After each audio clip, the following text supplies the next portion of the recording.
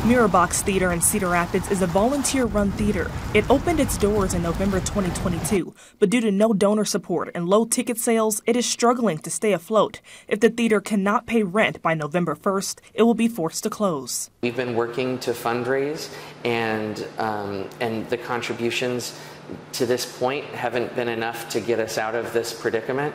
And so we are in an urgent situation where um, we need to raise this money in order um, to keep this building open.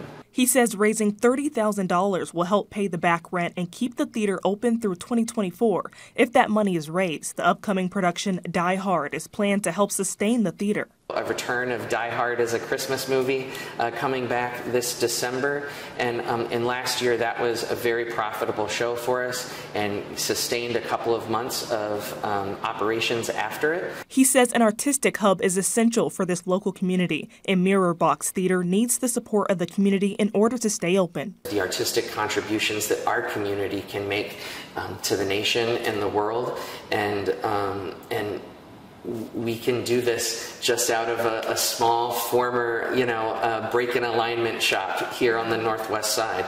It's possible, and it's only possible if the community um, is invested in it. To support Mirrorbox Theater, you can donate at mirrorboxtheater.com/donate.